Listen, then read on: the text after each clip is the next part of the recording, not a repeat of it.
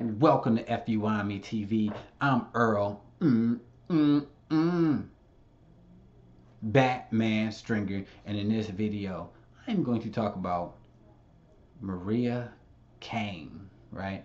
This is the, the lady, the fitness enthusiast, who posted a pic of her um, and her three little kids looking real good. Not her kids, her looking real good. And, uh, you know, not really sexual or anything like that. It was more to show, hey, she in shape, man. She had these kids. She kept her body. She's still, you know, very attractive and, and, and seemingly living a healthy, uh, cool ass lifestyle. But here's the problem.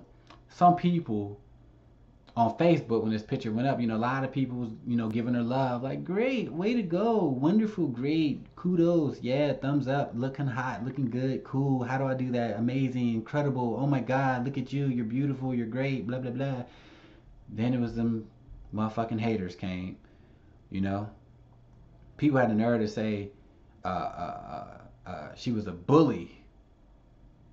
You know what I'm saying? Or she was conceited or or why are you exploiting exploiting uh, um, your kids? I mean, all kinds of shit people start saying. I'm like, off of that picture I saw, like first of all, people need to be on my Facebook page and shit. See some of the motherfucking pictures I see from just normal, just people. You know what I mean? Just shit. I, I should be commenting all day, every day. But this was like a classy picture that basically shows women like you can do it. You can look good. You can be in shape and have as many kids as you want, right? You know what's wrong with that? I, I like I'm definitely you know supporting the, the, the picture and everything like that. It's like how can you really knock that? Like she was in a workout outfit with her three little kids.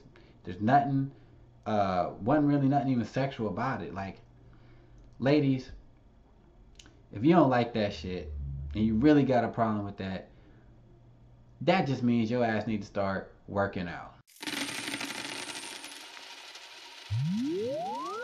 I let the chain hang, yeah, I'm tattered up, and I love to cuss, I just don't give a fuck. See, I'm just doing me, and you should do